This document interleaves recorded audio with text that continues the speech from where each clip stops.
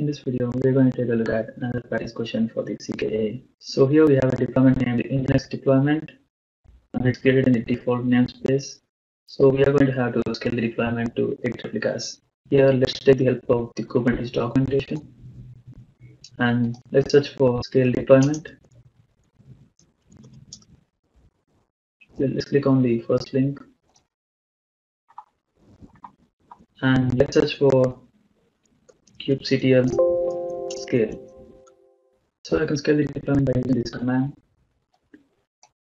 Let's go to a terminal and first let's specify we have the deployment kubectl get deploy. So we currently have deployment with three replicas and we have to scale this to eight replicas. kubectl scale deploy and the name of the deployment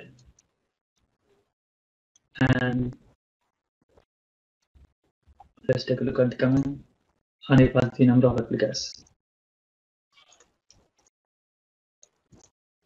Replicas equal to 8 so now it says the deployment has scale let's verify this. Deploy.